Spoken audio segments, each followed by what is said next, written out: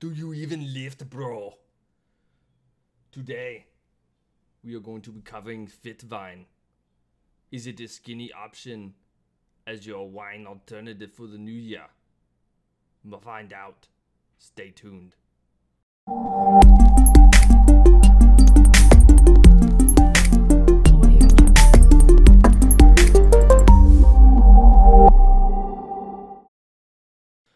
So today, uh, as you can probably tell by the intro, I'm going to be looking at what's called FitVine.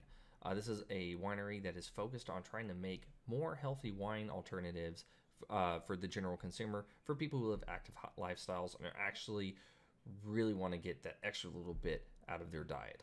So um, their motto is "We crush grapes, you crush life." I'm going to show a picture of the Chardonnay. Awesome. Um, and they have an interesting way of doing it. So they are fully invested into the, the healthy wine uh, kind of market. So they have zero GMOs and additives. They're gluten free. They're vegan friendly, and they have one third less sulfites than most wines. Most wines have somewhere between 75 to 150 parts per million. They're at 35 parts per million. Now you might be thinking, okay, so they probably take some shortcuts in the manufacturing process to hit that.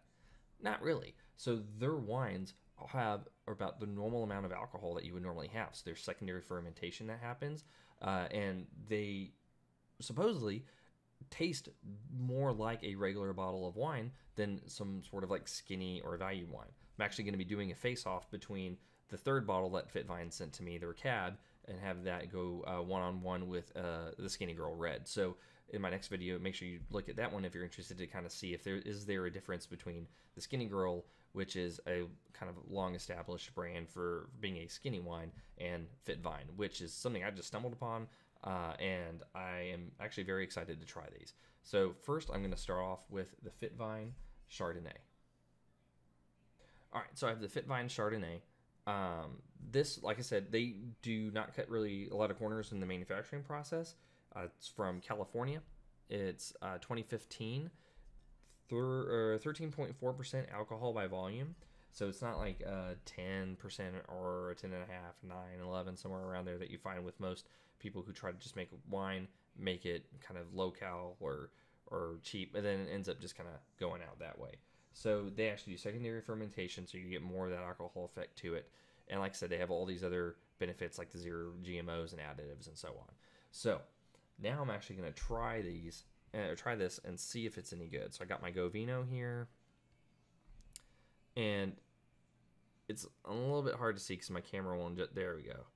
So this actually has the color of a Chardonnay, which I didn't expect. So I kind of, to be honest, I expected it to be lighter. I expected it to be um, lighter in terms of the color, so more clear, less actual yellow. Um, I would say this lean, it, this is probably leaning closer a little bit to maybe like a Sauvignon Blanc if I had to say it wasn't a Chardonnay by the look, but it's, I mean, anybody who just assumes a wine is a wine by the look um, is probably either a Somm because they are trained to check for it, or um, is blowing smoke up your ass. So, from this aroma standpoint, I'm pleasantly surprised that this smells like a Chardonnay, uh, and does not smell like candy. This is this is nice. Kind of getting like a lemon, and uh, maybe like pear, lemon, but lemon is the dominant thing. Maybe tiny bit of apple. Nah, I'm gonna say it's pear. Um, but like I would say it's like 15% pear, 85% lemon. Um, or at least that's what I'm detecting. So from uh, a taste standpoint,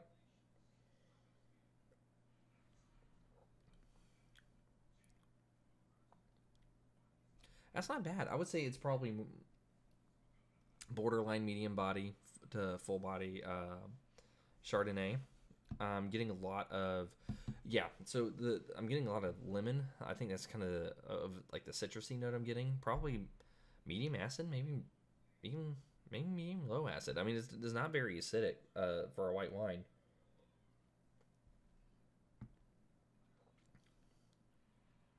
Yeah, so I'm not really Oh, I think a pear is coming in the finish. This is a short finish. Um, this this is way more pleasant than I thought it was going to be. I I was I was really worried that um, it was going to be one of those things where they even though they didn't take all what it didn't look like they took a lot of the shortcuts with the wine manufacturing process, they actually still didn't result in something that tasted good. And from this perspective, this is a good Chardonnay. Like I actually I probably would have this as a solo drinker. This is not bad at all.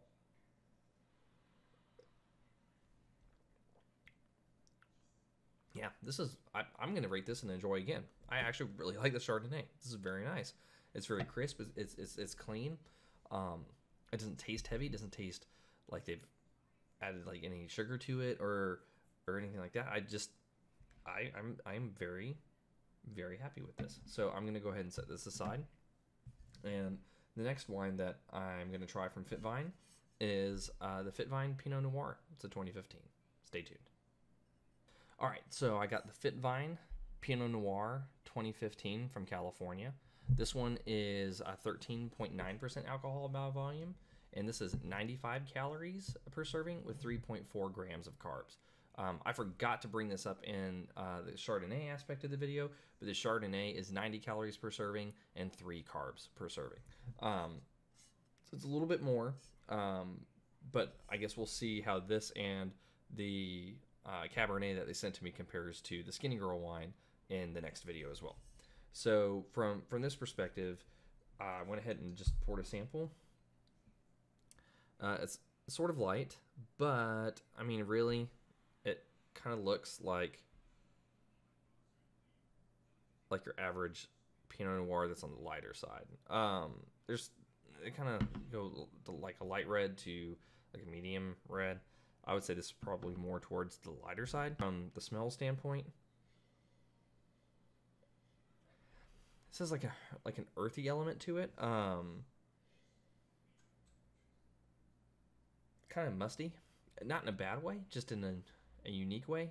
Um, to be honest, I'm having a hard time picking out any dominant aromas within uh, the wine, but like I said, I'm not a som, so I can't. If they use like Peruvian saddle leather, I don't know. I just, I'm just not that kind of person. Um, all right, so yeah, I'm not picking out anything special, but let me let me go for the taste.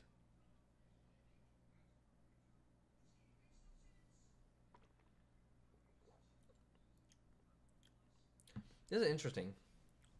So this is interesting. So, the, in in my experience, there's kind of like three different realms of Pinot. So you have the, the like really earthy, herby ones. You have the really bright, fruity ones, um, and then you have the kind of the middle of the ground. Like there's fruit, and we're gonna give it to you with some acid and have a nice day. And it's kind of nondescript. That's where I'm at with this. Um, like thinking about some of the ones I've tried in the past, like L'America, very herbal. Lot, I mean, like there's a predominant herbal note in that. Um, going back to, I believe it was Sawbuck, if I remember correctly. Um, that or not actually Pennywise. Pennywise had a, just a ton of cinnamon. Like it was like almost like it was halfway mulled. Like I could have just thrown in some other herbs, warmed it on the stove, and served it, and it would have saved me some some time in, in buying the cinnamon aspect of it. So so that was that was an interesting wine. This was more of a middle ground. So this is more of the uh, it's like a medium medium high acid. Um, it's going to give you um, a, a lot of fruit up front. The acid's going to hit, and it's kind of kind of mellow off in the finish. Probably a short finish.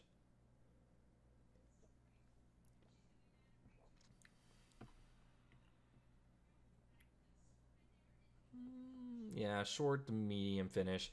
Um, this one's not bad either. Um, I would say this is a try again, uh, just mostly because um, I tend to. It's just more of a personal preference on my end. I tend to favor the Pinot Noirs that are a little bit more herbal, that are a little bit more um, kind of just like earthy.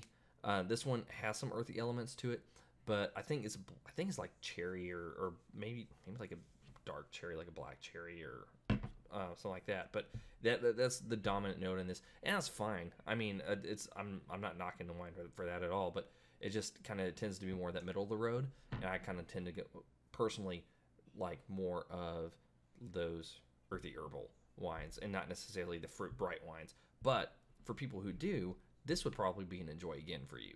So uh, don't just take my word for it. This is well, I mean, you kind of are taking my word for it. That's where I got my YouTube channel. Anyway, so you're try it from your end and see if you like it because you may have a different inclination towards uh, Pinots than I do, and you might actually just think this is the best thing since sliced bread. And I'm sitting here going, well, it's good, but it's not necessarily the best one I've had. Um, but on that note, I would still probably buy it again, especially if I'm going to a health conscious option because I can't find any other skinny brands that have a Pinot. So um, that would be that's definitely one of the things that's a big sell on my part is that it's a Pinot and I can't find one anywhere else. Okay, so in summary, I'm gonna do a quick like just review of what uh, I covered. So we did the FitVine Chardonnay, and I did the FitVine Pinot Noir. Um, in the end, they're both pretty good, especially for being skinny wines. Um, they didn't disappoint in terms of flavor. They didn't disappoint in terms of actually having a body to them. Uh, they didn't just taste like they were just made quickly, thrown in a bottle, and, and sent off. They actually felt like someone cared and gave a damn about the winemaking process on these wines. So that's a great start. Um, now, here is uh, the, a bit of the catch. The wines don't necessarily fall into the wine on the dime kind of video or just in general review cost profile. The Chardonnay is uh, $15.99 on the website, and the Pinot is a limited edition run right now. It's a $19.99 um, purchase on the website. Dollar, $19.99. You know, so I had to be honest about that. They sent these to me for me to review. I really appreciate um, them sending it my way, but it falls outside of my price category. Sorry. However, I have been working with Fitvine uh, since I received these in, letting them know, hey, I am a little bit concerned that these aren't within the, the $15 price point I have. So uh, Market FitVine has graciously offered a discount code for wine on the dime readers. So if you are a reader of the blog, you're at the YouTube channel, go to the website for this entry. I'll put the link in the video description below. And from there, you can actually get the discount code you need in order to get 10% off your standard bottle. So it will bring any of the standard bottles like the Cab, uh, the Chardonnay. Those will now be under $15 per bottle, so you can purchase them and try them yourself. Unfortunately, the Pinot was still probably going to be around $17 once that happens. Maybe we'll get lucky in the long run. Uh, the Pinot won't become a limited edition run. It'll become a standard offering. It'll be priced at the current level of the other wines and make them competitive. That would be good. Ultimately, I'll be honest, I would kind of love to see these um, get uh, maybe paired around the same as the Skinny Girl wine. They're a few dollars cheaper, and then that would just make it an instant easy. We're gonna throw these in there, but I can't control that. I don't own the manufacturing process. I'm not CEO of the company, um, but I would love to see these um, at maybe like a $14 price point instead of a $16 price point. Just that few extra dollars opens up, in my opinion, um, a whole new world of people who are looking to get value out of wine two dollars for some may not be a big deal but i started wine on the dime when i was trying to go through school and i didn't have a lot of money to do wine and i wanted to get into it. So two dollars for me was the difference of can i grab a quick small meal between classes and still be able to enjoy a glass of wine later that night?